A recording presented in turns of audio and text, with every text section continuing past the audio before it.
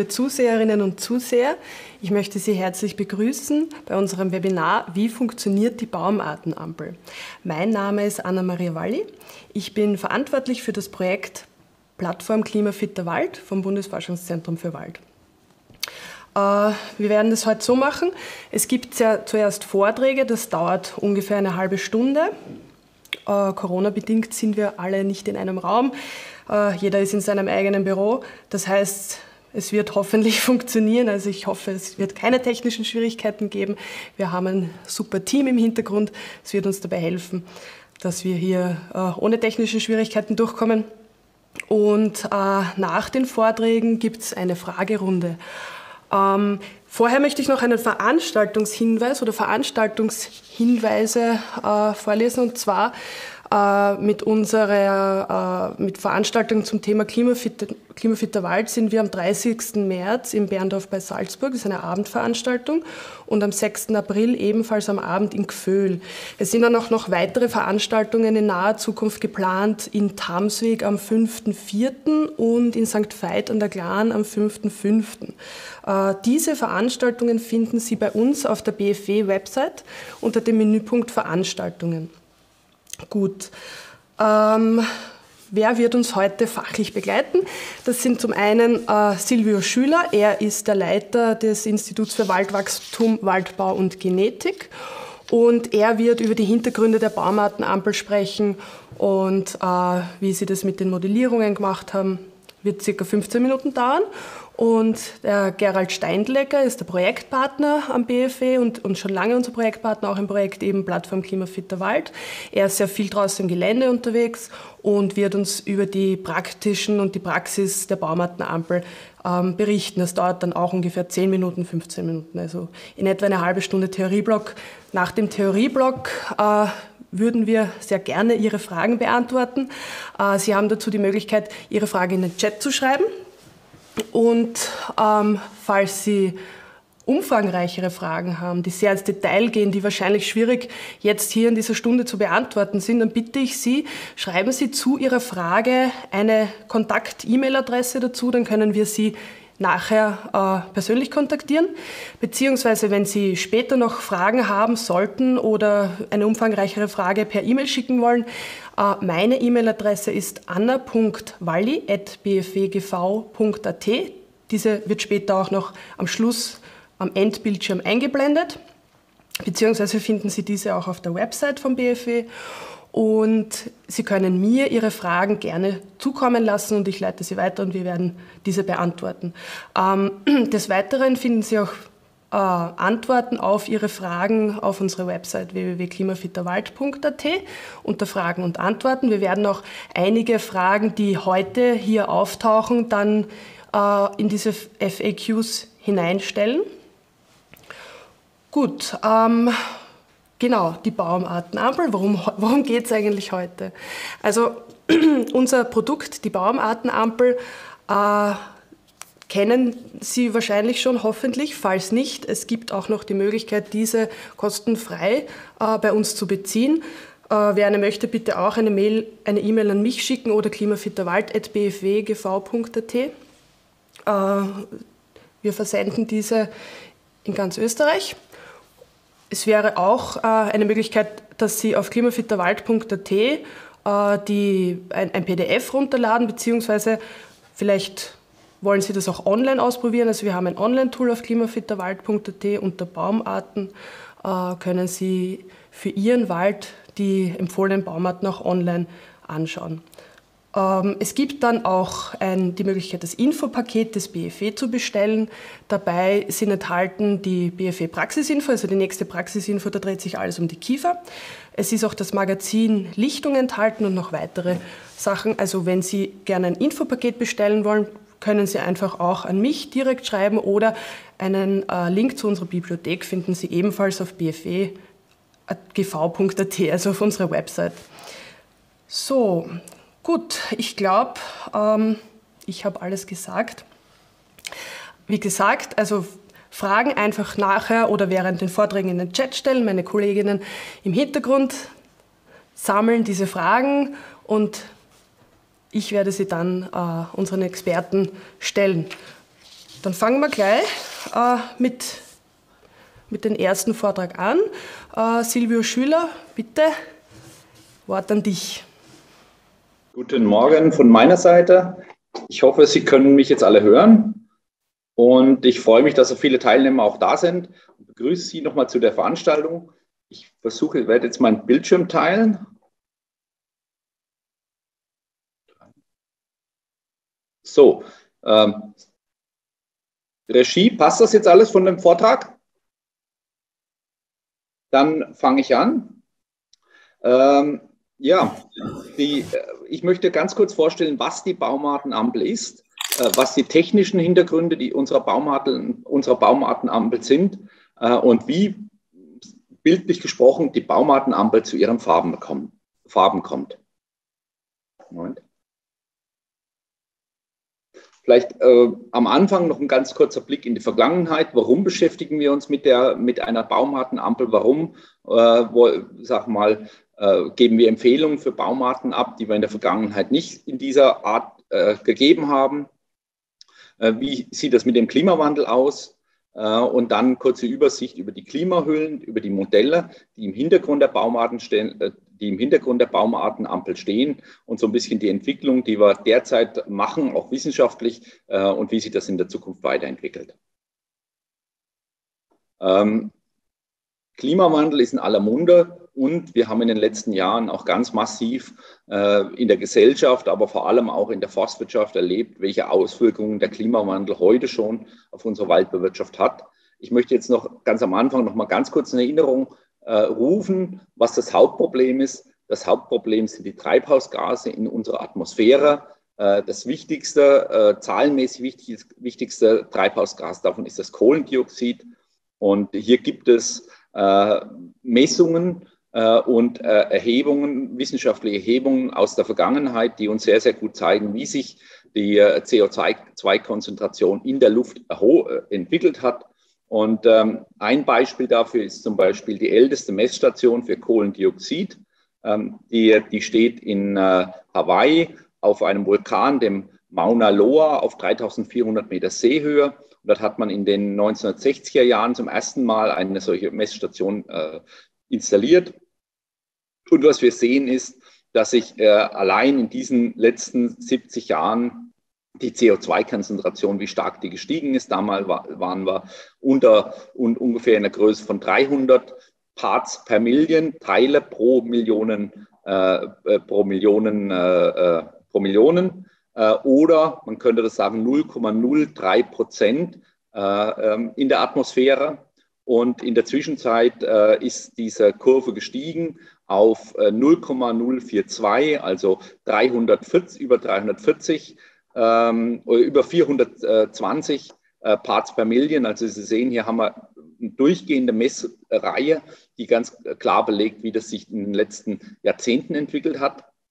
Und wenn man zu diesen Messwerten dann auch noch unsere Informationen dazu nimmt, die wir aus Eisbohrkernen aus, ähm, und aus geologischen Formationen hat, äh, da kann man natürlich die, die, die CO2-Konzentration über mehrere Millionen Jahre sogar zurückverfolgen möchte nur mal ein Beispiel bringen. Das ist hier eine Kurve, die ähm, die CO2-Konzentration in der Atmosphäre in den letzten 800.000 Jahren ähm, äh, beschreibt äh, und rekonstruiert hat.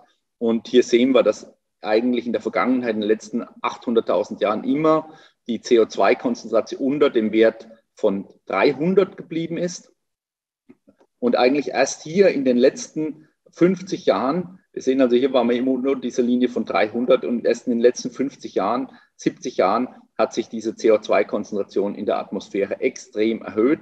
Es gibt sogar Kurven, die gehen noch zurück, die gehen über mehrere, äh, mehrere 10 Millionen Jahre zurück und die sagen mehr oder weniger dasselbe an. Also hier hat die Menschheit durch die Verbrennung von fossilen Rohstoffen natürlich ein ganz neues, äh, eine ganz neue Dynamik erlebt. Äh, wie sieht das für Österreich aus? Es wär, wir, das BFW arbeitet mit, mit Klimaforschern in ganz Österreich zusammen, unter anderem auch am Bericht, am APCC-Bericht, wo regelmäßig immer wieder der Stand des, der Wissenschaft im Hinblick auf den Klimawandel zusammengefasst wird. Und äh, was wir ganz sicher wissen, dass sich in Österreich die Jahrestemperatur seit 1880 schon um circa zwei Grad erhöht hat ähm, und wir einer weiteren Erhöhung von zwei bis vier Grad entgegenblicken bis zum Ende des Jahrhunderts. Also das sind äh, die Klimaveränderungen, die wir heute schon sehen, sind das eine. Aber wir sehen, dass selbst wenn wir heute jetzt unmittelbare Anpassungsmaßnahmen durchführen, wenn es uns gelingen würde, in wenigen Jahren auf die fossilen Energieträger zu verzichten, dann ist das äh, das CO2 in der Atmosphäre, das wir heute schon bis heute hinausgeblasen haben, äh, trotzdem so lange noch in der Atmosphäre, dass diese Klimawandel, dass die Klimaveränderungen auf jeden Fall stattfinden äh, und damit auch unsere Waldökosysteme beeinflussen. Das heißt, eine Anpassung ist auf jeden Fall notwendig. Vielleicht noch ein letzter Blick in die etwas längere Vergangenheit. Ähm, hier muss man sich vielleicht ein bisschen hineinschauen. Das ist eine ähnliche Karte, die hier aber das Klima, die Temperaturveränderung, Abweichung von einer Linie, äh, die wir sozusagen in den letzten mehreren tausend Jahren hatten. Es bezieht sich hier also diese Veränderung, die wir hier sehen, von der Temperatur, die Globaltemperatur bezieht sich auf diesen Zeitraum. Das äh, war das mittlere Holozän die, und äh, hauptsächlich die Zeit, bevor die Menschheit angefangen hat, Kohle zu verbrennen. Äh, hier hatten wir ein relativ stabiles Klima. Wenn man jetzt ganz, ganz weit in die Vergangenheit zurückgeht, bis zu 60 Millionen Jahre, ja, dann sehen wir, dass die, die, die Globaltemperatur in der Vergangenheit äh, deutlich wärmer war. Ja? Also vor 60, 40 bis 60 Millionen Jahren war es deutlich wärmer. Aber über ein, viele Millionen Jahre äh, hat sich die Atmosphäre langsam abgekühlt. Dann vor, ähm, in den letzten paar Millionen Jahren hatten wir dann die Eiszeiten, die zu den regelmäßigen Temperaturschwankungen geführt hatten. Und dann hatten wir hier ein, äh, einige Jahrzehnte, äh, einige äh, tausend Jahre ein, ein, relativ stabiles Klima. Und nachdem wir dann angefangen haben, in der, in der äh, Industrialisierung Kohle und Erdöl zu verbrennen, äh, befinden wir uns jetzt wieder auf einem Pfad der Temperaturerhöhung. Äh, und diese Temperaturerhöhung kann hat alle, kann uns in alle möglichen Richtungen bringen. Äh, Im Idealfall haben wir zum Ende des Jahrhunderts und in den nächsten mehreren hundert Jahren ein Klima, wie wir es zum letzten Mal auf der Erde gesehen haben, vor, ähm, vor ungefähr drei bis fünf Millionen Jahren. Also das ist diese graue Linie hier. Wenn wir diesen Klimapfad erreichen und es schaffen, jetzt sehr, sehr schnell unsere Treibhausgase zu reduzieren, dann schaffen wir das auf diese äh, sozusagen ein Klima zu haben wie vor drei bis fünf Millionen Jahren. Äh, wenn uns das nicht gelingt, und leider befinden wir uns im Moment eher noch auf diesem roten Pfad, äh, dann kann es sein, dass wir in, in 100 Jahren und in den nächsten mehreren hundert Jahren ein Klima haben, wie es die Erde zum letzten Mal vor 20 Millionen Jahren erlebt hat. Ja, also das ist eine gewaltige Klimaveränderung. Ähm, und äh, da müssen wir davon ausgehen, dass auch die Auswirkungen auf die Wälder und auf die Natur natürlich sehr, sehr groß sein werden. Warum sage ich das? Warum gehe ich so weit zurück? Weil wir uns natürlich auch überlegen müssen, können sich unsere Wälder anpassen? Äh, können sich die Baumarten anpassen? Und das ist jetzt ganz interessant, wenn man sich schaut, was ist eigentlich in den letzten 50 Millionen Jahren passiert? Wie haben sich dann in der Vergangenheit schon unsere Wälder durch diese Temperaturerniedrigung verändert? Ähm, Jetzt können wir nicht so weit zurückschauen, weil keiner von uns aufgezeichnet hat, wie die Wälder vor 50 Millionen Jahren ausgesehen haben. Aber es gibt natürlich fossile Erhebungen, äh, welche Baumarten bzw. welche Baum, Baumgattungen äh, sind in der Vergangenheit äh, vorgekommen. Und ähm, da gab es eine, in, in, in der ganzen Welt sehr, sehr viel mehr Baumarten, wenn man in, dieses, in diese weitere Vergangenheit zurückschaut. Und insbesondere in Europa gibt es fossile Aufzeichnungen aus Pollen und Holzfunden, die darauf hindeuten, dass äh, Europa eine sehr, sehr reiche Baumartenflora besessen hat. Äh, wir, es gibt Schätzungen, dass da bis zu 130 verschiedene Baumgattungen äh, in Europa vorgekommen sind, viele von denen, die wir heute nicht mehr kennen. Und viele dieser Baumgattungen sind über diese Millionen Jahre lange Abkühlung und durch die Eiszeiten in Europa ausgestorben und stehen uns heute nicht mehr zur Verfügung. Wenn wir uns da gegen die heutige Baumartenausstattung und die heutige Anzahl an Baumgattungen anschauen, die überlebt haben, dann sehen wir, dass in Europa von diesen 130 Baumgattungen nur äh, 38, also 29 Prozent überlebt haben.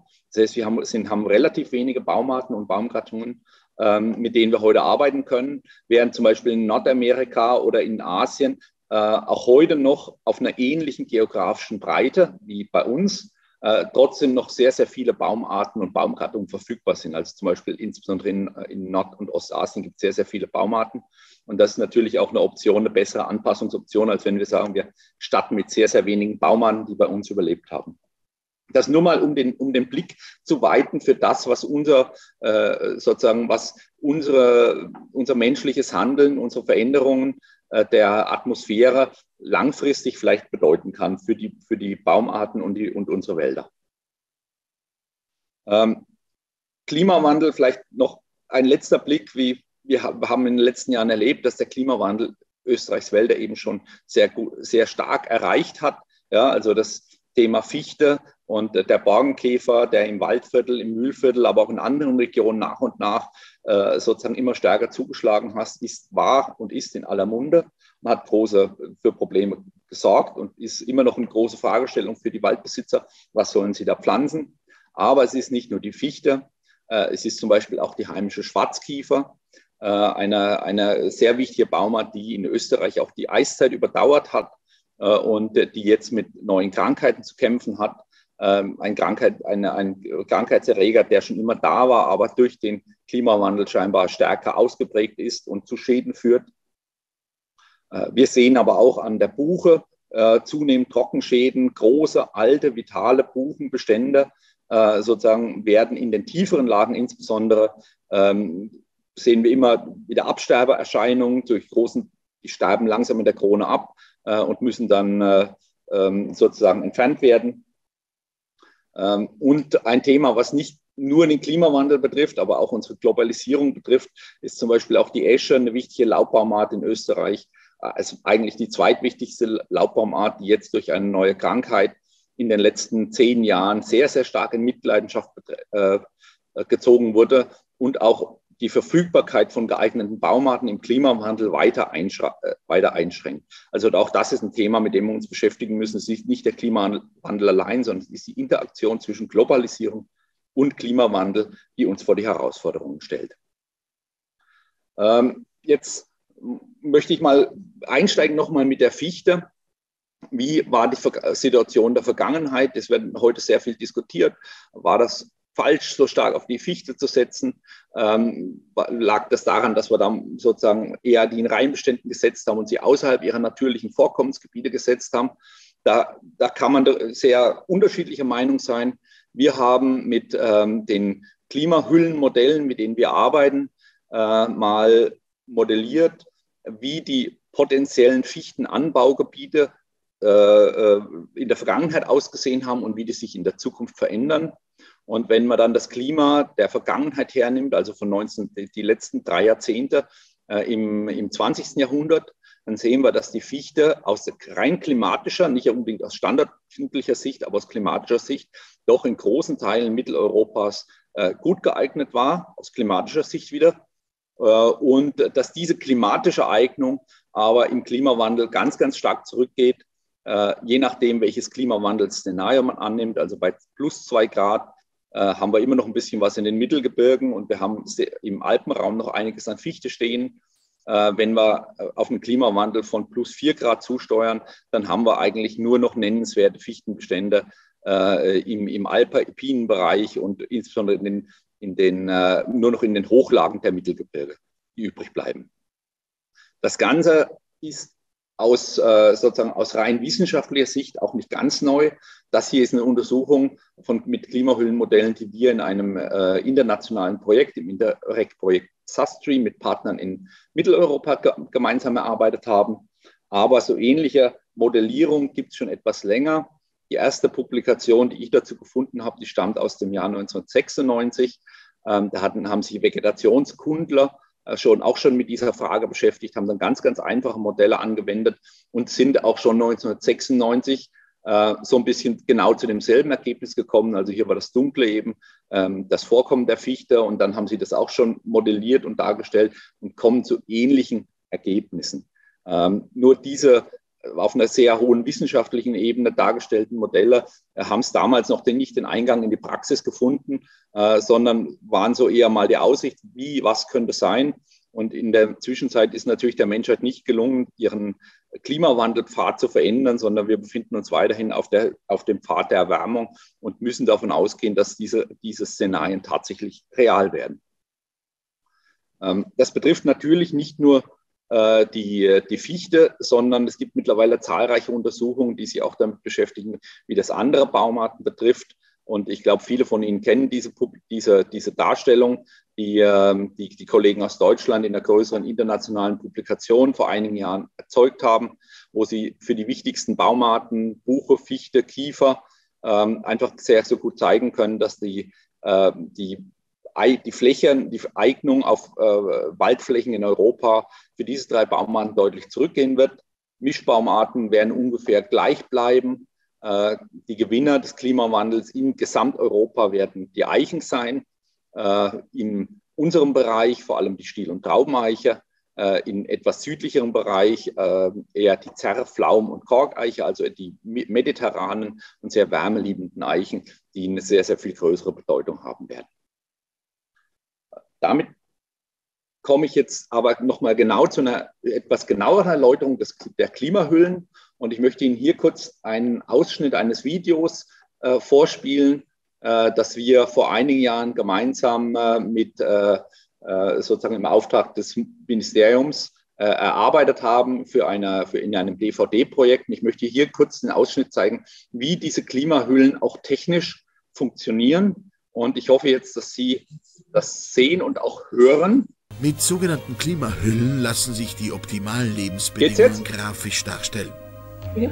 Es funktioniert, danke. Dazu bestimmt man an verschiedenen Standorten zum Beispiel die Jahresdurchschnittstemperatur und trägt diese auf einer Achse des Diagramms auf.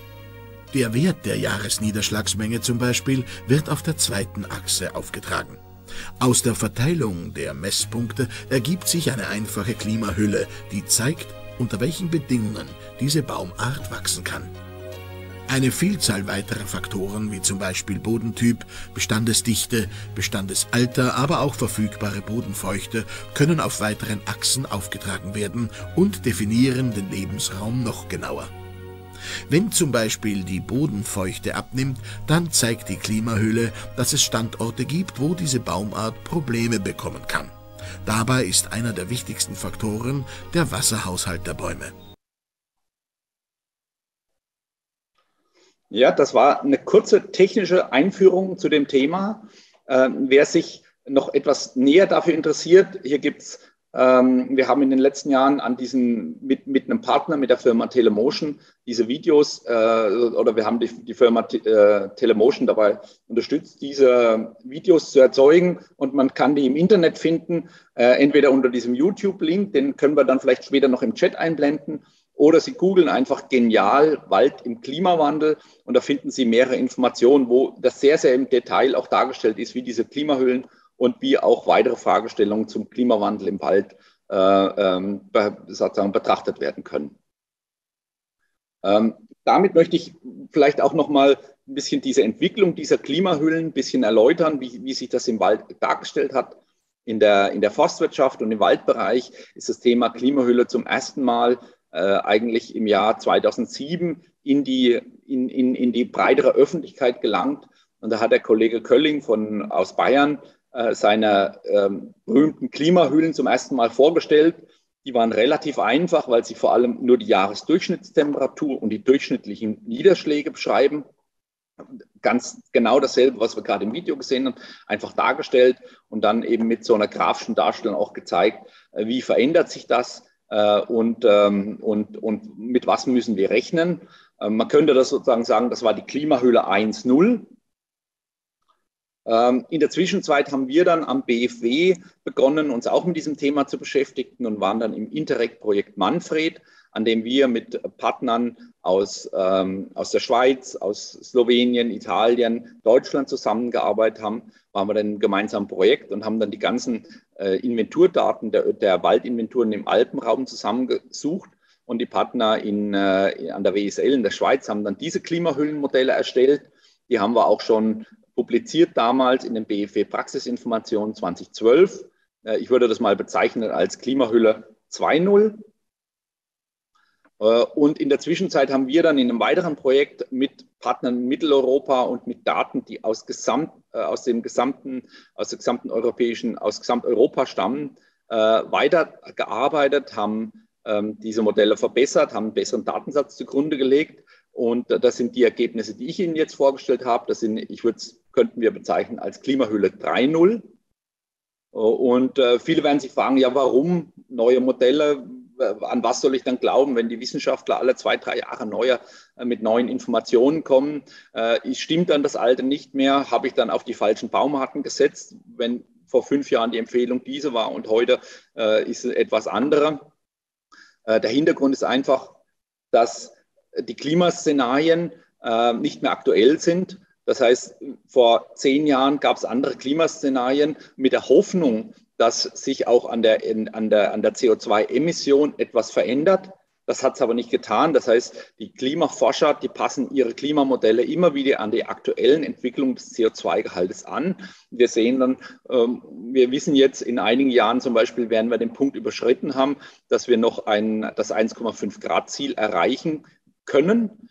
Äh, wenn das dann überschritten wird, dann brauchen wir gar nicht mit diesen positiven oder diesen optimistischen Szenarien weiterzurechnen. Auf der anderen Seite sind wir jetzt aber auch äh, in, der, in der Forstwissenschaft sehr viel besser geworden. Ähm, die Baumdaten werden immer besser. Die Klimahöhlen 1.0, das waren noch, die, das sind die Daten herausgesucht worden aus einfachen Vegetationskarten, welche Baumarten kommen wo in Europa vor. Mittlerweile gibt es äh, die Daten der, der, der internationalen Waldinventuren Europas beziehungsweise der verschiedenen Länderinventuren Europas, die, die werden regelmäßig zusammengefasst werden publiziert und der neueste Datensatz, der umfasst 360.000 Uh, äh, ungefähr 360.000 ähm, Waldinventurpunkte in ganz Europa, wo man sehr genaue Daten hat zu den Baumarten vorkommen. Das heißt, es wird immer besser. Uh, auch die Statistik der Modelle wird immer ausgefeilter. Das heißt, hier haben wir einfach, hier gibt es jetzt neue Modelle, die uns auch erlauben, die Unsicherheit der, der Modelle besser einzuschätzen. Und äh, nicht zuletzt werden auch bessere Klimaparameter integriert und mittlerweile auch erste Standardsparameter äh, sind möglich zu integrieren. Das heißt, hier wird es auch wieder neue, in den nächsten Jahren neue technische Entwicklungen geben, neue Modelle geben, die uns helfen, unsere Empfehlungen für, den, für die Forstwirtschaft besser abzustimmen. Und äh, hier möchte ich auf keinen Fall versäumen, äh, nochmal auf das Projekt äh, der Foresight hinzuweisen, äh, das Projekt der dynamischen Waldtypisierung äh, als ein neues Instrument für die Baumartenwahl. Einige von Ihnen waren vielleicht dabei in der vergangenen Woche und vor zwei Wochen wurde dieses, wurde dieses die Ergebnisse dieses Projekts ja äh, beim Land vom Land Steiermark vorgestellt. Äh, und hier werden tatsächlich die Bodeninformationen, die aktuellen Standardsinformationen äh, integriert.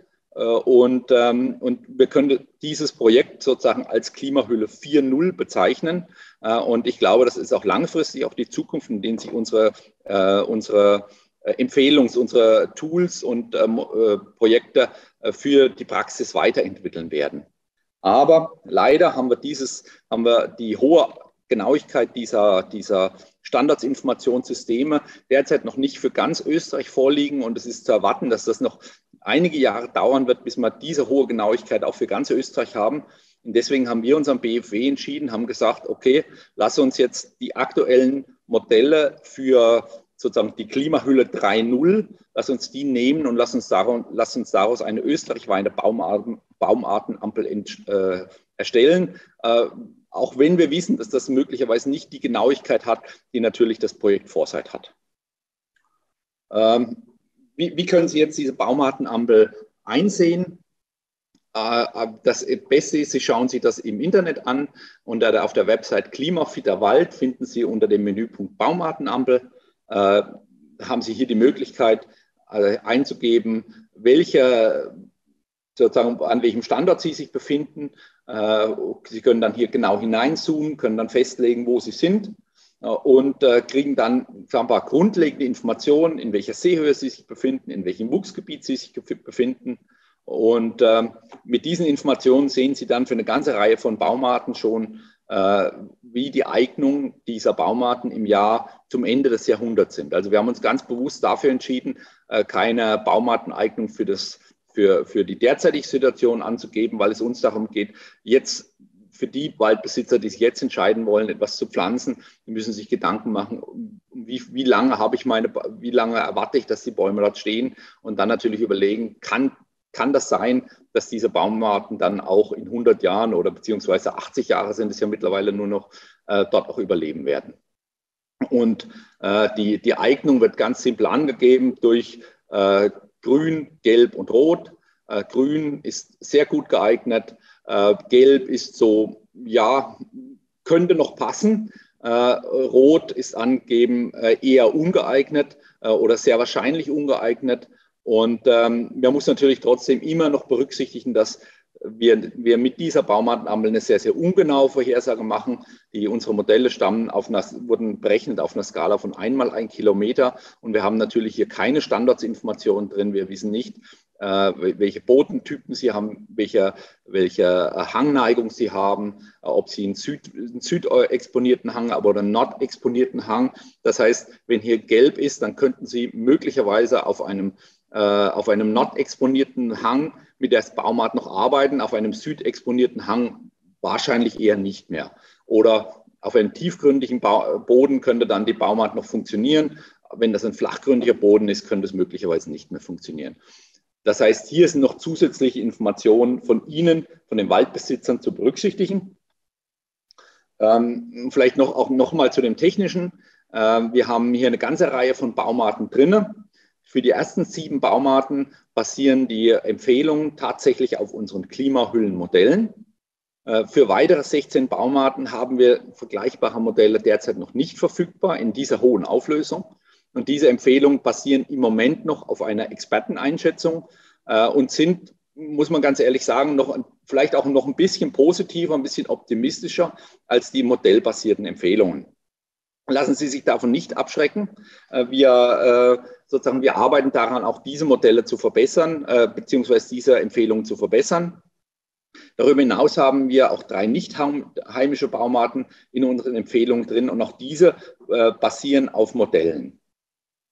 Mittlerweile läuft bei uns ein weiteres Projekt, das Projekt EVA, evidenzbasierte Anbauempfehlungen, das wir mit Partnern äh, aus Deutschland, auch aus Bayern und äh, anderen Bundesländern gemeinsam erarbeiten. Und da wollen wir eben auch die äh, Baumartenempfehlung für diese 16 Baumarten verbessern, beziehungsweise auch noch weitere Baumarten zufügen, um unsere Vorhersagen klarer zu machen. Ähm, ja, wenn, wenn wem, wem das nicht reicht und wer sagt, naja, das ist mir zu kompliziert, das im Internet jeweils anzuschauen, der hat natürlich auch die Möglichkeit, sich die Baumartenampel als Broschüre anzuschauen und entweder hier herunterzuladen oder bei uns zu bestellen äh, und um sie dann sozusagen in aller Ruhe anzuschauen. Und äh, da, da, werden dann meine Nachredner noch die nächsten äh, Vortragen noch darauf eingehen.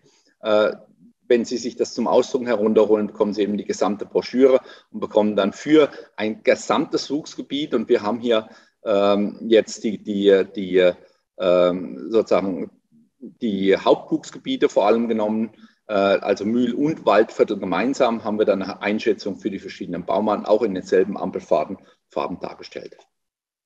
Und damit hoffe ich Ihnen, ich kann, das, hoffe ich, dass ich Ihnen die wesentlichen Fragen erstmal zur Baumartenampel beantworten konnte und bin gespannt auf die nächsten Vortragenden und dann später auf Ihre Fragen. Super. Danke, Silvio. Ähm, ich möchte euch nur noch sagen, liebe Zuseherinnen und Zuseher, wir zeichnen diese Veranstaltung auf und werden sie später auf YouTube bereitstellen. Und dort auf dieser äh, YouTube-Aufzeichnung wird dann auch, werden dann auch die ganzen Links zu finden sein. Also Sie brauchen sich nichts mitschreiben und dann einfach später auf unseren YouTube-Kanal einmal schauen. Äh, gut, dann kommen wir gleich weiter zu der Praxis. Äh, das wird uns Gary Steindlecker vorstellen. Gary, bitte. Ja, guten Morgen, geschätzte Damen und Herren, guten Morgen, liebe Kolleginnen und Kollegen. Ich sehe gerade, äh, dass sich meine Videokamera nicht freischalten lässt. Das liegt aber an meiner Technik und nicht an der professionellen meiner Kolleginnen vom BFW. Ähm, ja, äh, Anna Walli hat es gesagt, ich darf seit äh, circa sechs Jahren Partner des BFW im Projekt Klimafitter Wald sein. Ich beschäftige mich auch auf internationaler Ebene mit diesem Thema und darf, äh, bin dort Partner in mehreren Projekten, äh, auch der JUFO des äh, Internationalen Verbands der Forstwissenschaften. Nun, in Österreich, in den letzten Jahren habe ich viele Orte in Österreich besuchen können, äh, viele Waldflächen kennengelernt, aber vor allem auch noch viel mehr Waldflächen, äh, äh, Waldbesitzerinnen und Waldbesitzer kennenlernen dürfen. Auch ich teile jetzt mit Ihnen meinen Bildschirm und hoffe, dass der jetzt da ist. Anna, vielleicht kannst du kurz den Daumen hoch, äh, wenn der Bildschirm gut geteilt ist. Passt, ich sehe deine äh, PowerPoint. Dankeschön. Also nicht die Präsentation, sondern die, die Power. Ja, jetzt sehe ich die Präsentation. Super. Dankeschön, danke. Ähm, der Klimawandel hat also nicht nur sichtbare Auswirkungen auf den Wald und äh, seine Fähigkeit, die gewünschten Ökosystemleistungen zu erfüllen. Ich möchte äh, ganz besonders in Erinnerung rufen, dass der Klimawandel auf die Bewirtschafterinnen und Bewirtschafter auch massiven Einfluss hat, also auf die Waldbesitzerinnen und Waldbesitzer. Und hier insbesondere auf die kleinstrukturierten oder manchmal nennt man sie auch waldferne, hofferne, die sind ganz besonders betroffen und viele von ihnen brauchen technische, institutionelle, aber auch finanzielle Unterstützung. Mein kleiner Beitrag hier kann bei weitem nicht die vielen, vielen äh, Diskussionen mit Betroffenen widerspiegeln. Ich möchte vielleicht nur ein paar wenige Aspekte zum Thema Baumartenwahl und Baumartenampel, wie sie heute vorgestellt wird, aufgreifen. Und ich beginne mit dieser Folie. Äh, dieses ist ein Bild aus der Klimawandelanpassungsregion äh, Enstal, Oberes Enstal. Äh, und wir hatten hier eine tolle Veranstaltung gemeinsam äh, mit der Bezirksbauernkammer Liezen. Und die Botschaft, die ich hier äh, ganz zu vorne wegstellen möchte, ist, äh, alle wirtschaftlichen oder auch, Entschuldigung, äh, äh, wissenschaftlichen Erkenntnisse oder auch politischen Entscheidungen äh, können nur so viel äh, bewirken, als Waldbesitzerinnen und Waldbesitzer motiviert und informiert sind, um ihren Wald klimafit zu machen. Die Waldbesitzer und Waldbesitzerinnen entscheiden. Äh, wenn man jetzt äh, das Projekt Klimafitter Wald sich ansieht, so haben wir schon vor einigen Jahren eine Umfrage gemacht und 605 Waldbesitzerinnen und Waldbesitzer haben darauf geantwortet. Und die Frage war, was interessiert Sie in Bezug auf Ihren Wald ganz besonders? Und ich betone, das sind hier überwiegend nur ganz klein strukturierte Waldbesitzerinnen, oder Waldbesitzer und äh, oftmals auch Waldferne, die in urbanen Räumen leben. Aber das wichtigste Argument, das gebracht worden ist, ich möchte, dass mein Wald gesund ist. Ich möchte, dass er stabil ist. Ich möchte, dass er den zukünftigen Anforderungen gerecht wird. Und äh, das ist ein Hintergrund, warum sich das BFW äh, diesem Thema ganz besonders angenommen hat und äh, warum auch die Baumartenampel entstanden ist. Nun, wenn wir jetzt die Baumartenwahl, und ich habe im Chat schon gelesen, äh, ist diese Baumart sturmsicher? Ist diese, äh, kann man die Esche noch empfehlen? Äh, wenn ich hier einige wichtige Einflussfaktoren äh, für die Baumartenwahl herausgreifen darf. Entscheidend ist der Standort. Und Silvia Schüler hat es schon gesagt, die Baumartenampel kann im Wesentlichen nur die großen äh, Dimensionen widerspiegeln, nämlich den Niederschlag und dessen Verteilung, äh, ein ganz wichtiges Kriterium, weil die Schäden der letzten Jahre äh, sehr oft Trockenschäden mit Borkenkäfer als Folgeschäden war. Temperaturverteilung und ihre Spitzen, die hängt natürlich sehr stark von der Seehöhe ab. Das Grundgestein ist wiedergespiegelt in der Baumartenampel, weil, in den, weil auch die forstlichen Hauptwuchsbezirke äh, angegeben sind. Allerdings, was in der Baumartenampel weniger äh, angeführt sein kann, äh, ist die wirkliche Örtlichkeit. Und auch das, auf das ist Silvia Schüler schon eingegangen. Wie sieht dort der Boden aus? Wie schaut es mit dem Wasserhaushalt, Nährstoffversorgung, der Gründigkeit aus? Die Exposition wurde angesprochen. Auch die Geländeform kann man nicht feststellen. Und äh, nämlich äh, über die Fernerkundung und einfach sie so einfach widerspiegeln. Und dann gar nicht, wie ist die Eignung der Baumarten? Und wenn ich von der Eignung spreche, so möchte ich ganz besonders auf die Genetik und Herkunft äh, eingehen. Etwas, was auch nicht in der Baumartenampel äh, wiedergespiegelt ist, ist, äh, wie sieht der Bestand aus? Und das ist ja ganz, ganz entscheidend, äh, wenn man draußen mit den äh, Menschen unterwegs ist, dann wirft man einen Blick natürlich auf den Wald, wie er sich vor Ort gerade darstellt. Und es macht einen riesen Unterschied, äh, ob Sie äh, einen intakten äh, Baum, äh, Wald haben, der mit Baumarten versehen ist, die vielleicht auch in Zukunft ähm, äh, tauglich sein werden, oder bereits einen geschädigten oder gar einen schwer geschädigten.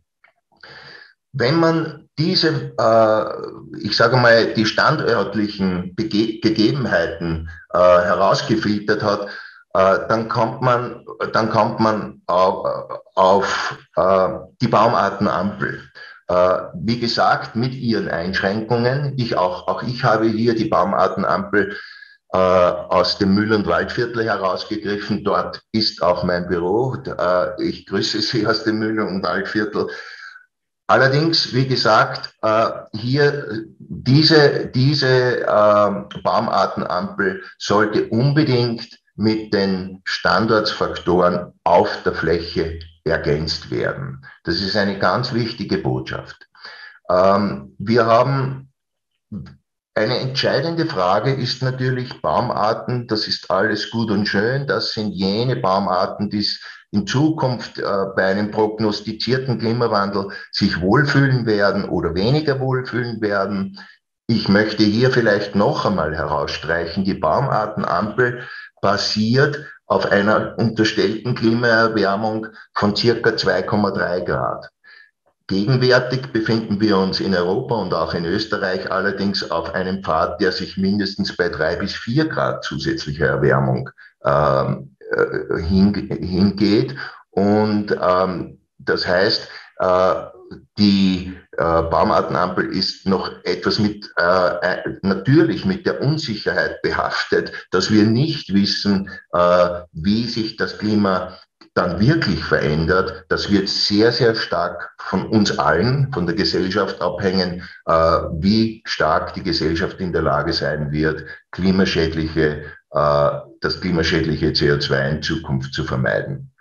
Wenn es um die Baumartenmischung geht, dann lassen Sie mich eines sagen, äh, es ist eine ganz entscheidend, ein ganz entscheidender Faktor für einen zukunftsfähigen, klimafitten und resilienten Wald. Man kann dadurch das Risiko natürlich erheblich senken ähm, und in den und wenn Sie jetzt in Ihrem Bestand schauen und Sie haben einen existierenden Bestand, dann können Sie dort, wo geeignete Mutterbäume vorhanden sind, äh, das heißt, die richtigen zukunftsfähigen Baumarten mit den richtigen Herkünften, dann können Sie natürlich dort in vielen Fällen mit Naturverjüngung arbeiten. In manchen Fällen ist das nicht möglich und wir müssen Baumarten, Bäume künstlich einbringen über Pflanzung, über Saat. Und hier ist empfohlen, mindestens drei bis vier Baumarten in den meisten Fällen pro Bestand einzubringen und die in, je nach Baumart äh, präferiert in Gruppen, in Trupps, in Reihen, wenn möglich keinesfalls in der sogenannten Buntmischung. Das kann manchmal recht schön aussehen, aber es bringt ihnen langfristig sehr große Probleme, waldbauliche Probleme bei der Pflege, Durchforstung und auch bei der Entnutzung der Bestände. äh, wenn äh, die Baumarten sozusagen bunt durcheinander gemischt im Bestand sind.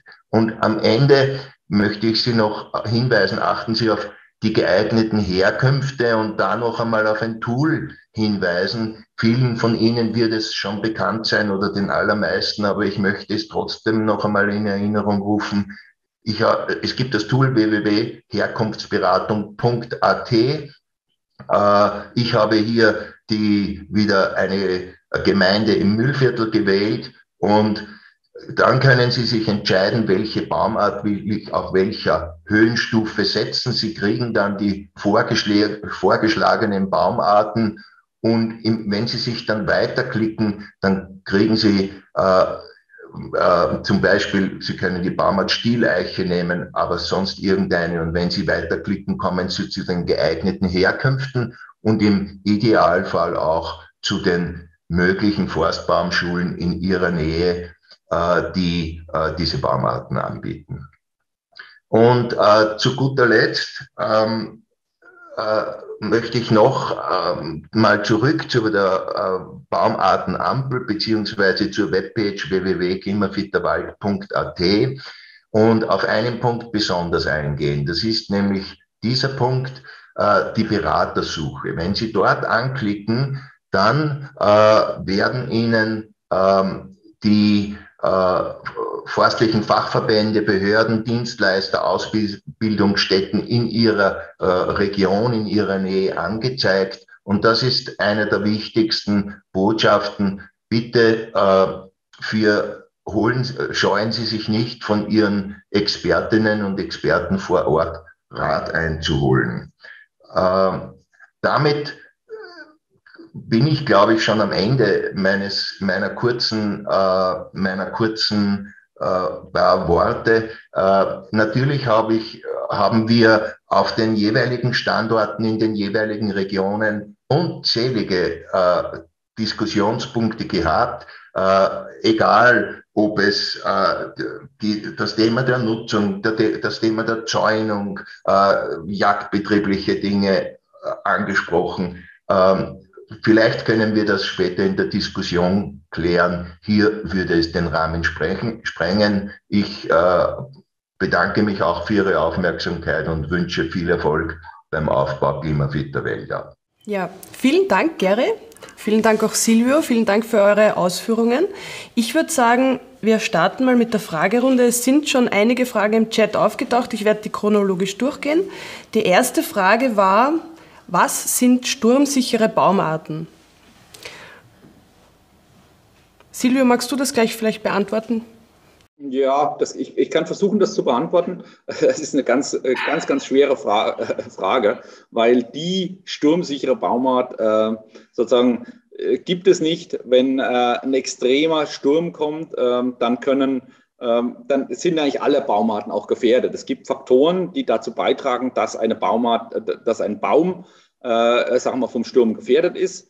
Auf der einen Seite haben wir Stabilitätsparameter des Gesamtbestandes und des Einzelbaumes. Also äh, das heißt, die waldbauliche Behandlung der Bestände, äh, sag mal, entscheidet auch über die Sturmsicherheit. Und ich kann äh, bei moderaten Stürmen äh, und bei einer richtigen waldbaulichen Behandlung werde ich wahrscheinlich sozusagen äh, eine geringe Sturm, eine hohe Sturmsicherheit haben, selbst bei den ähm, vermeintlich eher Sturm äh, sozusagen den, den gefährdeteren Baumarten, auch bei der Fichte, wenn die, wenn die mit einem, wenn die einen guten HD-Wert hat, wenn die Bestände geschlossen sind und wenn die Bestände nicht und die Bäume, Einzelbäume nicht allzu hoch sind, kann man da bei moderaten Stürmen auch noch mitarbeiten. Das heißt, ich möchte mal feststellen, äh, sturmsicher heißt immer auch, ist immer auch vom Waldbau abhängig. Und dann ist natürlich auch eine Frage, zu welchem Zeitpunkt diese Stürme auftreten. Äh, in, bei Sommerstürmen, äh, die in den letzten Jahrzehnten auch stärker geworden sind, äh, bei diesen kleinen Tornados, wie wir es jetzt im letzten Jahr zum Beispiel auch in Tschechien gesehen haben, dann da kann eigentlich keine Baumart wirklich standhalten. Das werden auch große Buchen äh, und Eichen können da sozusagen abgeknickt werden, weil dann die Windgeschwindigkeiten sehr hoch sind und die Bäume, auch die Laubbäume im Sommer äh, natürlich mit dem Laub einen sehr, sehr hohen Widerstand äh, darstellen. Ansonsten sind äh, in, bei den Winterstürmen eher die Nadelbäume gefährdet Äh, und äh, da ist natürlich die Fichte und die Flachwurzelnbaumarten äh, tendenziell immer stärker gefährdet. Aber wie gesagt, es hängt auch, es hängt dann vom Standort ab, es hängt von der Baumhöhe ab. Je höher Bäume werden, desto stärker, desto höher ist die Wahrscheinlichkeit, dass sie geworfen werden. Das gilt eigentlich ganz generell. Das heißt, etwas kleinere Baumarten und etwas dickere Baumarten, Bäume werden schwächer geworfen. Und ähm, wir, wir sehen eigentlich, wenn wir die ganzen Modelle und die ganzen Analysen, die wir in den letzten Jahrzehnten gemacht haben, äh, kann man nicht sagen, das ist die eine Baumart, die ist immer sturmsicher unter allen Situationen. Das heißt, hier kommt die richtige Baumartenwahl zusammen und hier kommt natürlich auch das waldbauliche, die waldbauliche Behandlung dazu. Ich weiß, die Antwort ist vielleicht ein bisschen unkonkret beantwortet, aber wie gesagt, nicht einfach zu beantworten. Okay. Uh, okay, passt, super. Kommen wir zur zweiten Frage. Da geht es um die Esche. Die Esche wird bei uns in der Baumartenampel konkret empfohlen. Wir wissen aber alle, dass die uh, ziemliches Problem mit diesem Pilz hat. Wie ist denn das gemeint? Silvio, vielleicht kannst du das auch beantworten. Ja, äh, also wir stellen in unserer Baumartenampel grundsätzlich mal die klimatische Eignung dar äh, und, nicht, äh, und nicht die Eignung und auch nicht die Gefährdung durch, äh, durch den Pilz. Äh, wir arbeiten am BFE jetzt seit ähm, fast zehn Jahren jetzt an dem Projekt Esche in Not und haben begonnen im Jahr 2015 sehr viel Saatgut äh, aus von resistenten Eschen in ganzen, aus ganz Österreich einzusammeln. Wir prüfen das auf, seine, äh, auf die Resistenz gegenüber dem Eschentriebsterben. Das ist der Pilz Calaria fraxinea. Äh, der, der die Esche befällt und die zum Absterben bringt langfristig. Und wir sehen da eine hohe Resistenz auch. Ähm, so wir erwarten, dass wir in den nächsten fünf Jahren Pflanzen auf den Markt bringen können, die Resistenz gegen diesen, resistent gegen diesen e-, Eschenpilz sind. Und da erwarten wir, dass es auch möglich ist, die Esche wieder etwas breiter anzubauen. Also wir würden die Esche auf keinen Fall jetzt komplett abschreiben, aber ähm, erstens auf der einen Seite dort, wo die Esche schon in geringen Stückzahlen vorhanden ist, kann sie durchaus heute noch auch noch sozusagen weiter gepflegt werden, wenn der, wenn der Befall nicht ganz so stark ist. Und ich glaube, in Zukunft werden wir resistentes Saatgut haben und dann könnten die Esche auch an bestimmten Standorten wieder geeignet sein. Alles klar, vielen Dank. Ähm, die zweite Frage richtet sich auch an äh, die Krankheiten und zwar äh, geht es um die Baumarten Schwarzkiefer und Buche. Äh, wir haben zum Beispiel da eine Frage bekommen, ähm, dass im Wienerwald die Schwarzkiefern äh, konkret empfohlen werden, obwohl die immer mehr ähm, Probleme mit den äh, Borkenkäfern haben. Ich denke mal, da kann man das ähnlich sehen wie bei der Esche, dass wir ja nicht auf die Schädlinge eingehen können bei der Baumartenampel. aber generell Schwarzkiefer und Buche, was wären denn da für typische Krankheiten, die auftreten können? Also äh, bei der, bei der, bei der Schwarzkiefer geht es eigentlich vor allem um das Triebsterben, das Diplodia-Triebsterben. Ich bin jetzt nicht der Forstschutzexperte, aber das ist ein Pilz, den, den es schon länger gibt. Der ist nicht ganz neu. Aber äh, sag mal, nach Trockenperioden und nach bestimmten Witterungsereignissen tritt dieser Pilz äh, gehäuft auf.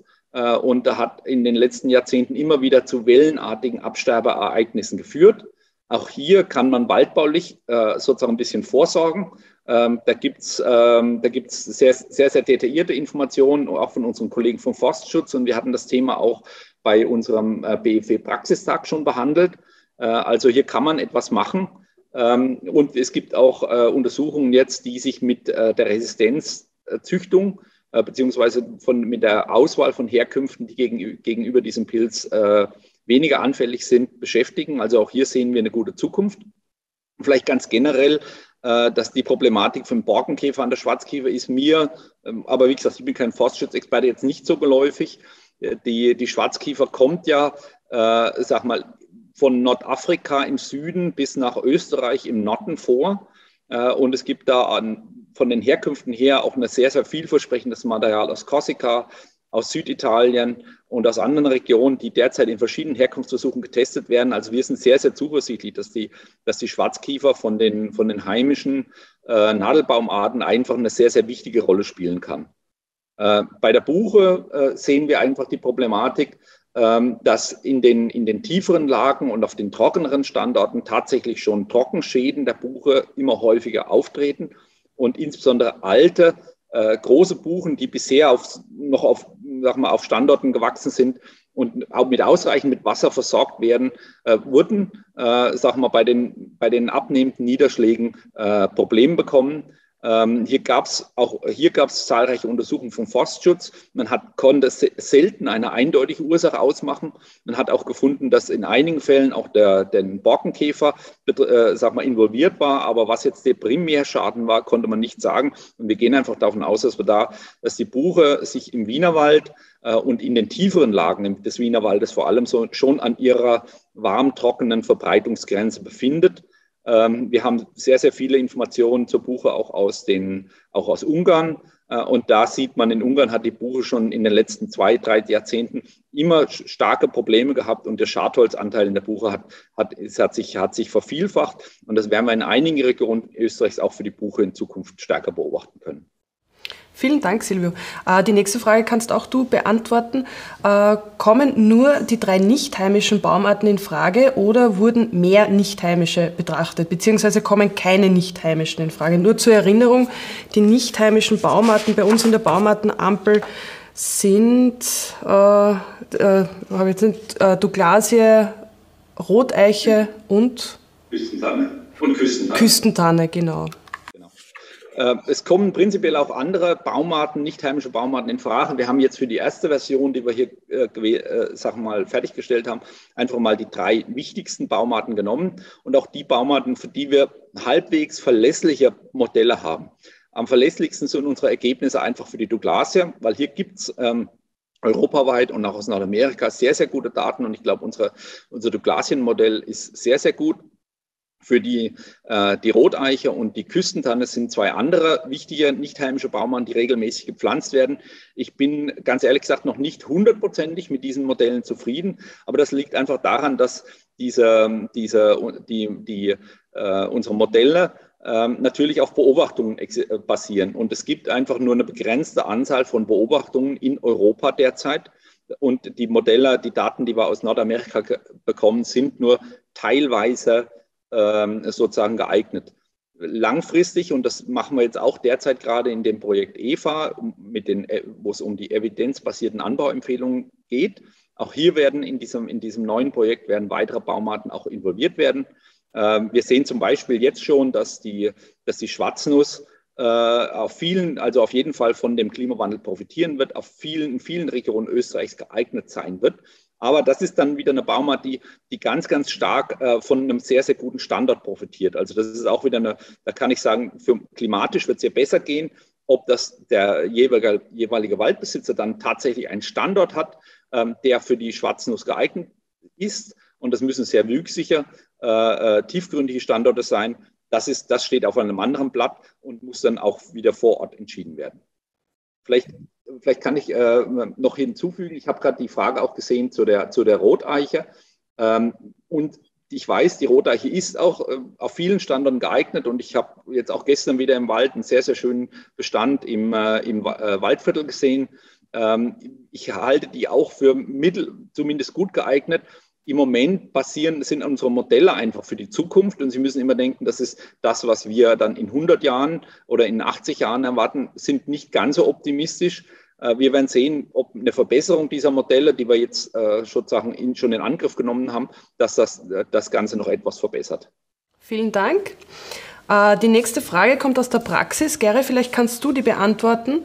Äh, sie lautet, wie würde man bei einem Schutz- bzw. Bannwald eine Waldumbildung am besten durchführen? Also ich, ich würde überhaupt dich bitten zu äh, beantworten, grundsätzlich, wie eine Waldumbildung am besten durchzuführen ist, mit speziellem Hinblick eben auf Schutz- und Bannwald. Danke.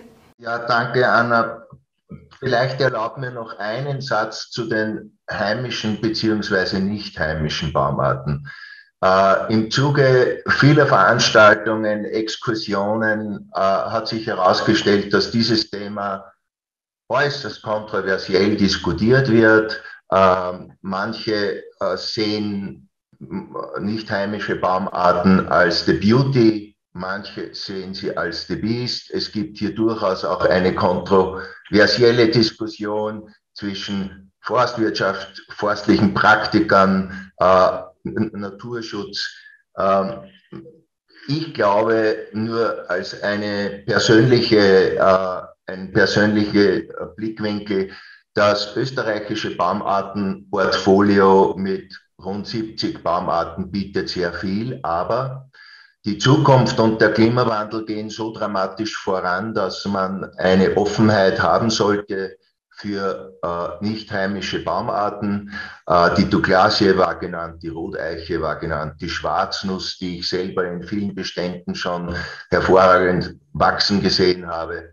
Vielleicht äh, an alle äh, Waldbesitzerinnen und Waldbesitzer das vielleicht entscheidendste Argument ist, äh, inwieweit eine Baumart invasiv sein kann, die Invasiveness einer Art.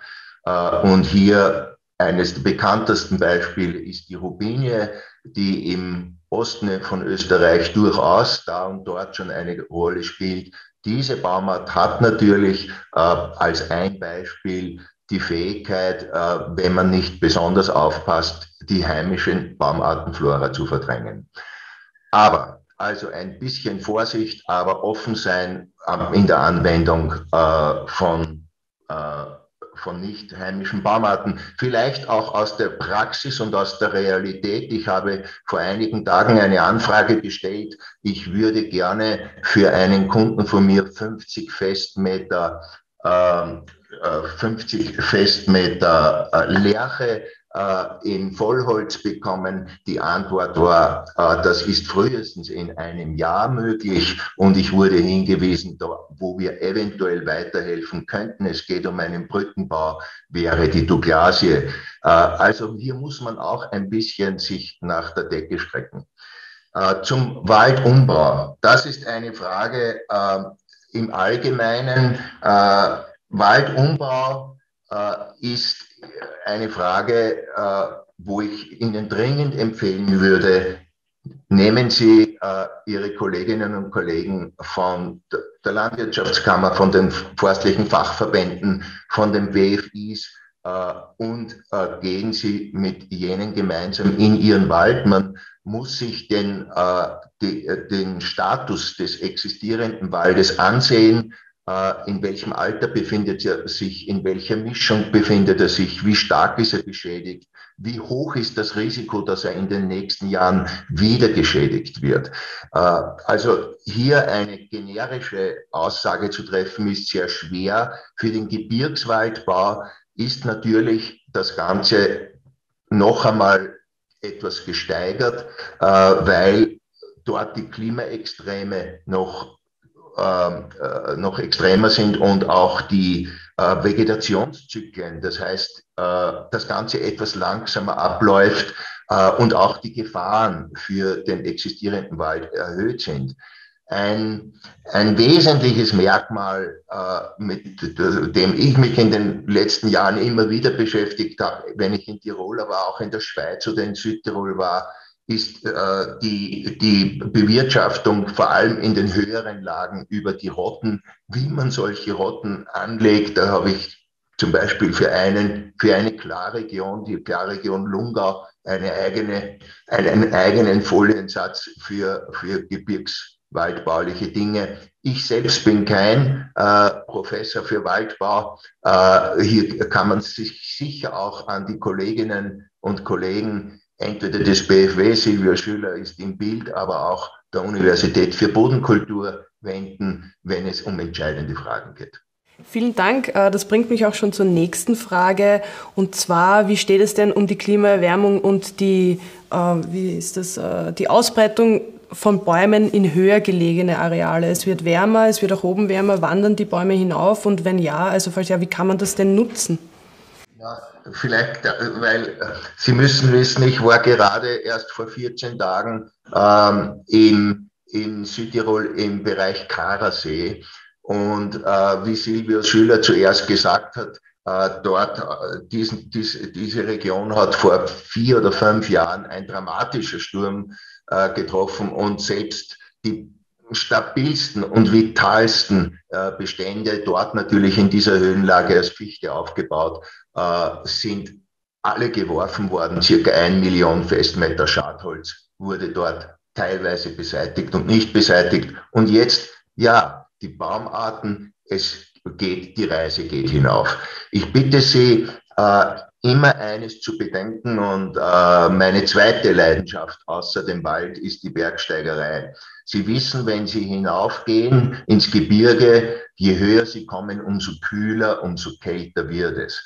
Wir sprechen davon, dass die Temperaturabnahme pro 100 Höhenmeter circa 0,65 Grad ist. Wenn Sie jetzt unterstellen, dass es in Österreich schon in den vergangenen zwei, drei, vier Jahrzehnten zwei Grad wärmer geworden ist und noch einmal äh, zwei, drei oder gar vier Grad dazukommen, dann müssen Sie sich vorstellen, dass äh, wir in, in äh, hypothetischen 1000 Meter Seehöhe heute Klimabedingungen haben, äh, und die aber in 20, 30, 40 Jahren die Klimabedingungen der Tiefebene widerspiegeln. Also um, um viele hundert Höhenmeter. Und äh, man kann jetzt sagen, das Hinaufwachsen der Baumarten ist ein Segen. Manche sagen, es sei ein Fluch. Äh, es wird passieren, es wird passieren. Äh, und, äh, und die insgesamt wird sich die Eignung der Baumarten ähm, äh, von, von unten nach oben verschieben. Wir können, also ich gebe Ihnen ein Beispiel. Ähm, ich habe hier äh, einige Waldbesitzer, mit denen ich schon vor 20 Jahren äh, im Müllviertel auf 950 Meter See, Seehöhe mit Eiche äh, gearbeitet habe und nach 20 Jahren zeigt sich, die passt dort recht gut, wo sie ursprünglich waren dort. Vor vielen, vielen hundert Jahren gab es dort Eichen und jetzt erscheint es so, als würde die Eiche dort durchaus passend sein. Ähm, also die Baumarten, die Bäume werden erheblich hinaufwandern und äh, wie man dann im weiteren Sinne mit der Almwirtschaft, auch mit der touristischen Nutzung umgeht, das ist auch eine letztendlich eine äh, bisschen eine politische Entscheidung, äh, wohin die Reise gehen wird. Wunderbar, vielen Dank. Äh, die nächsten zwei Fragen richten sich wieder an Silvio. Äh, da geht es nämlich um die Problematik zum Beispiel, warum die Baumartenampel das Grundgestein nicht angeben kann. Also äh, es wird angeregt, ich denke, man, könne, man könnte Baumartenempfehlungen relativ einfach verfeinert darstellen, indem man Standortsbedingungen, Wasserhaushalt, Exposition, Bodenart, Grundgestein bei einer Abfrage angibt und entsprechende Baumarten im Ampelsystem angezeigt bekommt. Silvio, kann man das so einfach machen?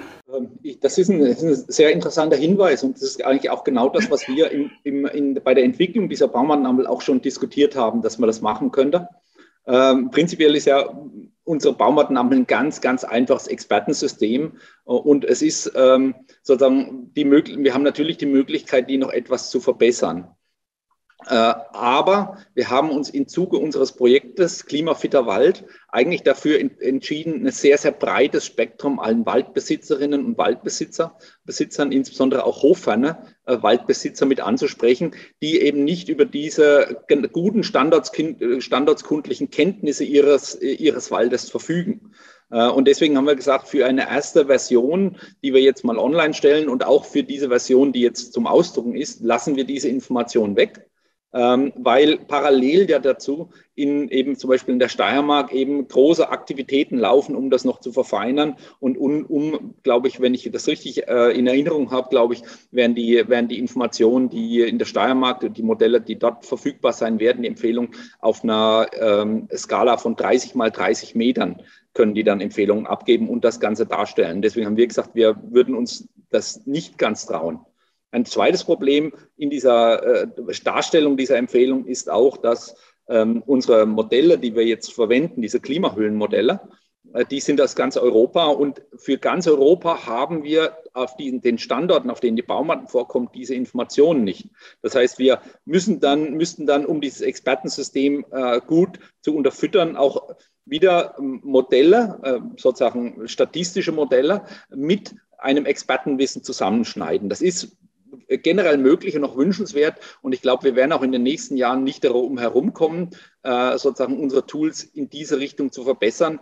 Äh, die Schwierigkeit wird sein, dann das Tool auf der einen Seite noch detaillierter und genauer zu machen, gleichzeitig aber die Einfachheit der Bedienung für ein breites Spektrum an Waldbesitzerinnen und Besitzern äh, sozusagen weiter zu erhalten. Und das ist ähm, bisschen die Kunst, wo wir hier nicht nur jetzt als Wissenschaftler gefragt sind, sondern vor allem auch die, die, die, äh, unsere Kommunikationsabteilung und auch die Webentwickler, äh, nämlich die Frage, wie kann man dann ein gutes User-Interface entwickeln, dass das äh, breit zugänglich gemacht werden kann. Vielen Dank. Und ich darf gleich mit der nächsten Frage anschließen, die als Stellvertreterfrage für viele ähnliche Fragen dieser Art gilt. Äh, es geht in dieser Frage speziell um die Roteiche, die in keinem Wuchsgebiet und keiner Höhenstufe einen grünen Ampelwert hat. In Anbetracht des großen Verbreitungsgebiets der Art in Nordamerika und des großen Klimabereichs, den Österreich von den Weinbauregionen bis ins Hochgebirge abdeckt, ist das sicher nicht plausibel. Gibt es da Überlegungen, wie man die Modelle für diese Baumart verbessern könnte? Ich habe das vorhin schon kurz angesprochen, ähm, dass, dass wir in einem Projekt, in einem Projekt eben genau daran arbeiten. Das Problem ist bei der, bei der, bei der Roteiche sind einfach die Verfügbarkeit von Daten.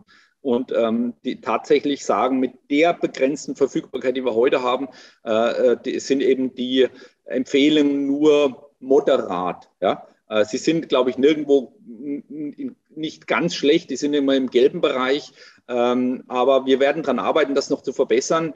Ähm, insofern, ähm, das Ganze ist ein Work in Progress und Sie haben gesehen, wie wir uns in den letzten Jahr, zehn Jahren einfach von diesen Klimahüllen 1.0 äh, bis zu 3, 4.0 weiterentwickelt haben. Und ich glaube, das werden wir auch in den nächsten fünf Jahren, so eine Dyna weitere Dynamik äh, ist da zu erwarten. Vielen Dank.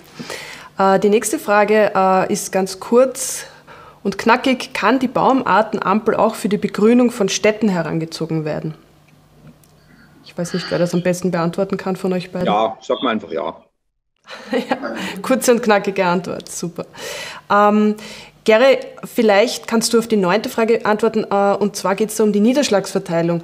Wie sieht denn ein Wald aus, der gut mit extremen Niederschlägen, mit Extremereignissen, wie zum Beispiel auch Trockenheit oder eben extrem Niederschlag zurechtkommt?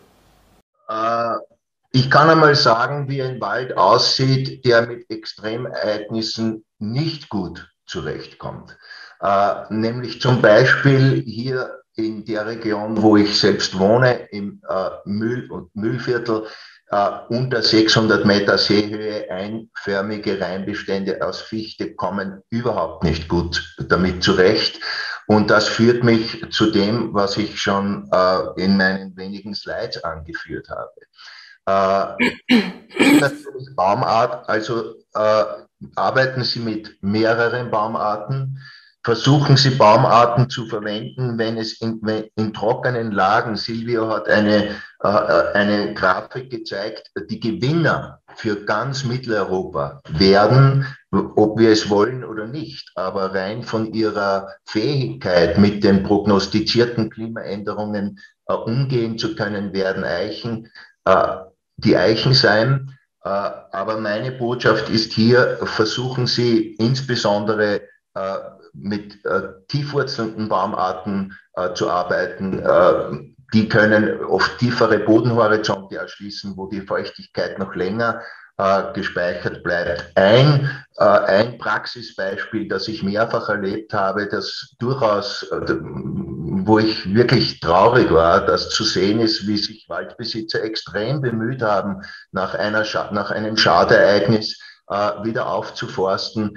Äh, das Ergebnis war, dass im nächsten Sommer oder Frühling, so wie es sich jetzt auch schon wieder äh, ankündigt, extreme Trockenheit herrschte und fast alle jungen Bäumchen verdurstet sind. Ich habe, ich habe Waldbesitzerinnen gesehen, die mit der Gießkanne zu den einzelnen Bäumchen gegangen ist. Auf der großen Fläche ist das natürlich nicht möglich. Und hier gibt es vielleicht auch noch, das sind meine persönlichen Gedanken, die spielen vielleicht nicht immer alle hundertprozentig die Wissenschaft oder die äh, Praxis, wie sie gelebt wird, wieder. Aber natürlich ist ein vorhandener Bestand, äh, wie wir alle wissen, wenn man in, den Wald geht, wird es kühler im Sommer und äh, windgeschützter in, an windigen Tagen. Äh, ins, insgesamt sind die Klimaextreme innerhalb eines Bestandes weniger stark ausgeprägt, als wenn auf einer Freifläche. Und wenn immer es möglich ist, dass sie unter Schirm äh, über Naturverjüngung oder auch über Pflanzung, Nachbesserung arbeiten können, dann kann man auch manchmal äh, Baumarten einbringen, die sich auf der Freifläche bei der Verjüngung in extremen Trockenphasen sehr schwer tun. Auch hier wieder gilt es, lassen Sie uns oder besuchen Sie den Standort äh, mit äh, Ihren Expertinnen und Experten vor Ort. Es gilt äh, abzuklären, auf jeder einzelnen Fläche. Die Exposition, wie gesagt, spielt eine ganz wesentliche Rolle und die äh, und vielleicht das Allerwichtigste der, der Bodenwasserhaushalt. Vielen Dank. Äh, die nächste Frage bezieht sich auch gleich auf die Trockenheit. Und zwar äh, wäre gerade bei Trockenheit die Saat, zum Beispiel Eichensaat, eine Alternative zur Bestandesbegründung. Äh, Silvia, da bist du ziemlich Experte darin. Vielleicht kannst du das beantworten. Ähm, ganz ehrlich, ähm, theoretisch wäre es das schon, aber bitte nicht. Ja? Wir haben viel zu wenig Eichensaatgut. Und ähm, äh, sagen wir, wir haben das Problem, dass für die ganzen Aufforstungen von der Eiche in den letzten Jahrzehnten, in den letzten Jahren nie das Eichensaatgut ausgereicht haben. Und wir brauchen derzeit jedes, jede, jede Eichel, äh, um daraus Pflanzen zu ziehen. Und äh, wir wissen aus Erfahrungen, aus einigen Versuchen, die in der Vergangenheit schon gelaufen sind, dass die Ausfälle bei der Eichensaat extrem hoch sind äh, insbesondere äh, Mäuse und, und andere Schädlinge. Äh, wenn, wir, wenn man die rausbringt und äh, eine Eichensaat macht, dann finden die ganz gezielt diese schönen ausgelegten Eicheln und der, die, die Ausfallraten sind sehr hoch. Das Saatgut ist sehr, sehr teuer, ja, forstliches Vermehrungsgut. Man kann das natürlich machen, ich würde es nicht empfehlen und wir bitte, wir brauchen, die Forstbaumschulen brauchen das wertvolle Eichensaatgut, ja, auf jeden Fall für die Anzucht von, äh, von Forstpflanzen. Und dann äh, kann man mit denen sehr, sehr gut arbeiten. Alles klar, vielen Dank. Äh, die nächste Frage ist ein bisschen konkreter und zwar, soll in einem Mischbestand Buche, Eiche, Kiefer und eben Fichte auf einer Seehöhe 400 Meter im Burgenland die Fichte mit BHD 40 Zentimeter geerntet werden oder weiter zugewartet werden? Ziel BHD wäre 50 Zentimeter. Also mein, mein, meine Empfehlung wäre, wenn es der Markt hergibt, äh, nutzen. Ja, und, sie einen ordentlichen Preis erzielen können. Langsam, langsam nutzen. Äh, die, die Fichte im Burgenland auf, auf 400 Meter See, hast du gesagt jetzt, ja? Ähm, ja, genau. Das ist, glaube ich, ganz ordentlich. Ähm, und wenn, wenn das eh ein Mischbestand ist aus anderen Baumarten, sollte man nicht zu lang warten, weil früher oder später kommt der Käfer. Die nächste Trockenphase kommt generell. Und das gilt, das gilt, äh, das gilt jetzt oft auch ähm, ganz generell, wir sehen äh, immer noch in Österreich, dass es viele Bestände gibt, die, ähm, die viele, viele Leute sehen auch den Wald so ein bisschen als Sparkasse, warten manchmal auch mit der Endnutzung, auch bei gerade bei den klima, klimasensitiven Baumarten wie die Fichte, die dann doch auf Trockenheit und auf äh, Borkenkäfer vom Borkenkäfer stärker gefährdet ist oder wenn der nächste Sturm kommt, auch gefährdet sein kann. Äh, wenn, Sie, wenn Sie dann Zieldurchmesser erreicht haben, äh, nutzen Sie die wenn der Holzpreis gut ist äh, und warten Sie nicht darauf, dass der Sturm kommt und dann müssen Sie das nutzen und dann äh, machen Sie möglicherweise ähm, sozusagen auch Verluste. Dankeschön. Die nächste Frage kommt aus dem Wuchsgebiet 9, aus dem Mühlviertel. Gary, ich denke, da kennst dich du sehr gut aus. Die Frage lautet, äh, in den Wuchsgebiet, Im Wuchsgebiet 9 ist die Roteiche bis großteils gelb, also mittel dargestellt. Dennoch wird sie im Müllviertel vor allem auf sauren Standorten aufgeforstet. Wie passt das zusammen? Gut, äh, wie das zusammenpasst, das eine ist die forstliche Praxis. Das eine, das andere sind die wissenschaftlichen äh, äh, Empfehlungen, die wiedergegeben werden.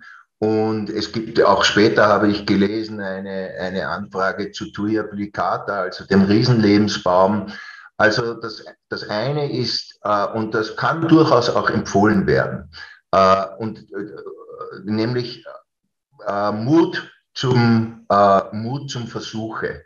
Äh, ein ständiges Dazulernen, äh, äh, Versuchsflächen anzulegen, Beobachtungen zu tätigen. Ich glaube, dass sich insgesamt die Waldbewirtschaftung und der Waldbau Mut haben muss, etwas auszuprobieren. Nun, bei der Roteiche ist ja das ohne Zweifel nicht mehr im Versuch, sondern da gibt es ja mittlerweile unzählige Flächen in Österreich, wo diese Baumart verwendet wird. Äh, auch im, im, im Mühlviertel, vor allem in den äh, tiefer gelegenen Lagen. Ich glaube, wir haben hier von 600 Meter gesprochen, war hier die Frage. Äh, wie das zusammenpasst, äh, kann, kann vielleicht Silvia noch was Ampel versus Praxis sagen. Zur Rodeiche wurde schon einiges gesagt. Äh, prinzipiell äh, nichts dagegen einzuwenden. Ähm, die, äh, ich weiß, dass die Kolleginnen und Kollegen gerade hier von den örtlichen Landwirtschaftskammern, äh, aber auch von, de, von den BFIs sich mit diesem Thema sehr intensiv beschäftigen. Ähm, und vielleicht, äh, Sie haben meine Kontaktadresse, äh, das Müllviertel ist sehr nahe, können wir uns einmal persönlich darüber austauschen. Also ähm, gerade jetzt auch für Oberösterreich gibt es ähm, ja schon aus der Vergangenheit von der Landesforstdirektion äh, schon etwas detailliertere Informationen und auch Empfehlungen für einige Wuchsgebiete. Da äh, sozusagen taucht dann zum Beispiel die Lerche in den entsprechenden Höhenlagen teilweise grün, teilweise rot auf, je nach Standort und äh, genau Lage. Das können wir natürlich in unseren Modellen nicht so berücksichtigen, weil wir einfach nur das gesamte Wuchsgebiet nochmal drin haben. Äh, aber wenn Sie sagen, Sie haben da bestimmte Standorte und sehen dann jetzt in der, in der Publikation, das ist vom, äh, eine, Studie vom Christoph Jasser, die Baumartenwahl im Mühlviertel zum Beispiel, da haben Sie Regionen drin, in, in diesen Höhenstufen, die grün sind, dann haben Sie andere in derselben Höhenstufe, die rot sind. Ähm, dann schauen Sie sich da vielleicht nochmal genau das an äh, und können dann das nach dem Standort äh, entscheiden. Wir geben, wir versuchen ganz bewusst äh, eine erste Information zu bieten. Ja? Ähm, so, hier, Sie können sich ganz grob orientieren. Wenn Sie dann genauere Fragen haben, müssen Sie sich äh, im Idealfall an Ihren forstlichen Berater vor Ort wenden und der kann Ihnen dann noch spezielle äh, Empfehlungen zu Ihrem Standort geben. Vielen Dank. Äh, die nächste Frage äh, dreht sich auch um die Eiche. Und zwar äh, gibt es auch Bereiche in Österreich, wo die Traubeneiche an ihre Grenzen stößt. Ja, vielleicht, vielleicht kann ich dazu was sagen, auch weil, weil das ist ein Thema, was uns auch schon jetzt bei den, bei den Modellen aufgefallen ist und wo wir auch inner, innerhalb des BFW schon sehr, sehr stark diskutiert haben, weil wir sehen schon, dass in allen Modellen, die wir hier erstellt haben, die Traubeneiche in den nordöstlichen Bereichen Österreichs an ihre Grenzen gerät und das liegt vor allem daran, dass sie auch, äh, sag mal, hier eine Kontinentalität herrscht, die möglicherweise für die Traubeneiche äh, sozusagen äh, kritisch sein kann. Ich kenne auch selber Betriebe, die im, im wirklich im östlichen Weinviertel arbeiten, die tatsächlich auch schon Probleme mit der Traubeneiche haben wir müssen uns das in den nächsten Jahren anschauen. Im Moment ist es nicht die erste Empfehlung für diese Region. Sie müssen sich vorstellen, die Traubeneiche geht nicht ganz so weit in den Osten, in die kontinentalen Bereiche Europas hinein äh, wie die, wie die Stieleiche. Die Stieleiche kommt bis, nach, bis an den Ural vor. Äh, die Traubeneiche ist eher eine westeuropäische und atlantisch getönte Baumart. Also es kann sein, dass unsere Modelle hier einfach das sozusagen berücksichtigen, dass, dass diese Kontinentalität ähm, sozusagen dieser Temperaturunterschied, den wir jetzt zum Beispiel auch jetzt gerade wieder erleben, äh, mit ähm, sehr, sehr warmen Tagen schon, äh, gleichzeitig aber auch, äh, sag mal, noch recht äh, kalten und äh, trockenen Nächten, dass das ein Kriterium sein kann, wo die Traubeneiche einfach stärker darunter leidet als die anderen Eichenarten. Vielen Dank. Ähm, ich habe noch eine Frage, die auf die erste Frage referenziert. Und zwar, würden Sie die Genetik oder die Pflege von Bäumen als entscheidendes Kriterium für die Sturmsicherheit einschätzen? Ja. ja. prinzipiell ist das ja das, was ich auch vorhin schon gesagt habe. Natürlich, die, die Pflege und die, und die Behandlung der Bestände ist ganz entscheidend für die Sturmsicherheit. Ähm, bei der Genetik ähm, würde ich in dem Fall tatsächlich, auch, auch wenn ich jetzt als Genetiker da ähm, natürlich dazu sage, das ist auch wichtig, ja, aber äh, eher Abstriche machen, weil da ist die Behandlung spielt auf jeden Fall eine größere Rolle als die Genetik. Also ich hätte die Antwort, äh, ohne ein Genetiker zu sein, auch genauso geteilt. Hier ist die waldbauliche Behandlung äh, natürlich sehr stark vorrangig.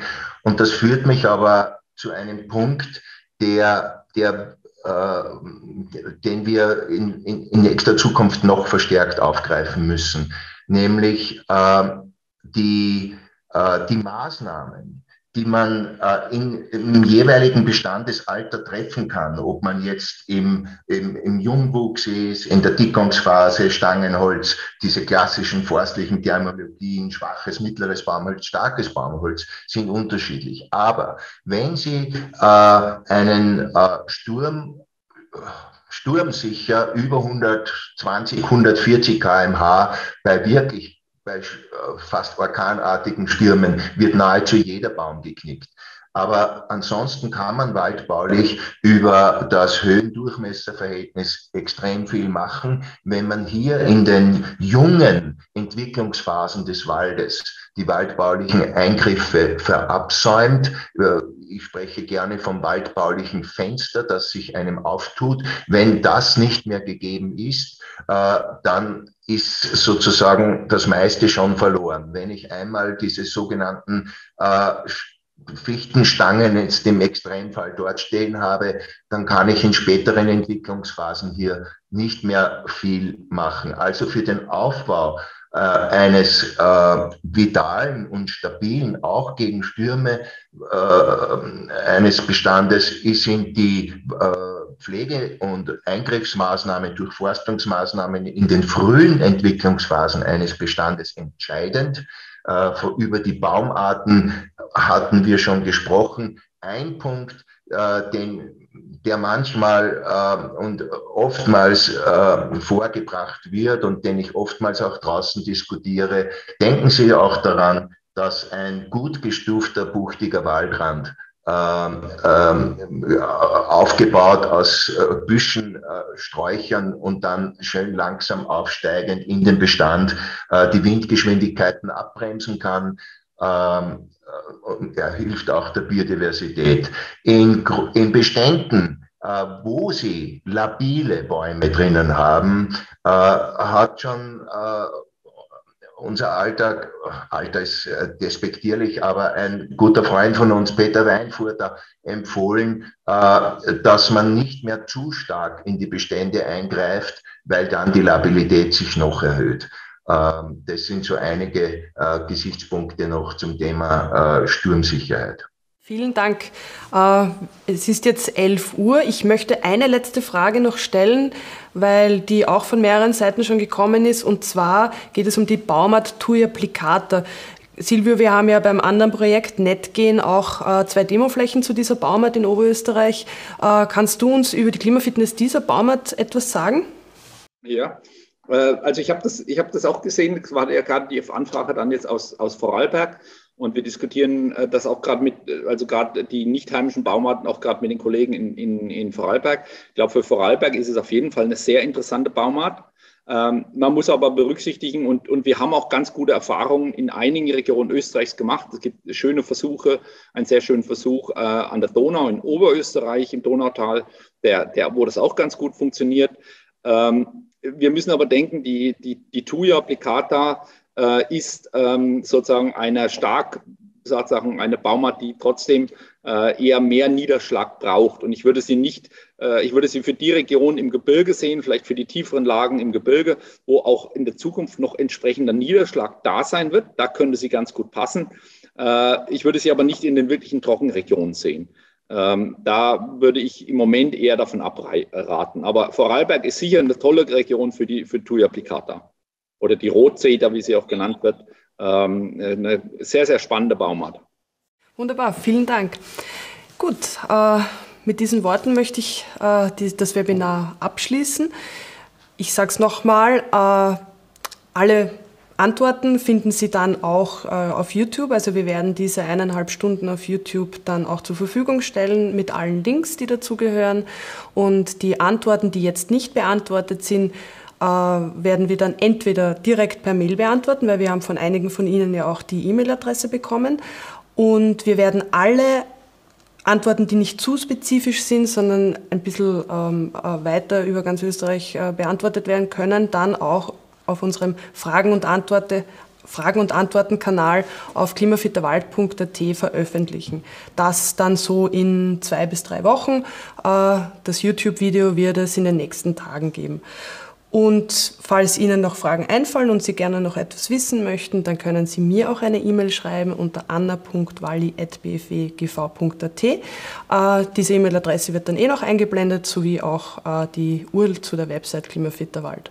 In diesem Sinne wünschen wir vom Bundesforschungszentrum für Wald Ihnen viel Spaß und viel Erfolg in Ihrem Wald. Wiederschauen!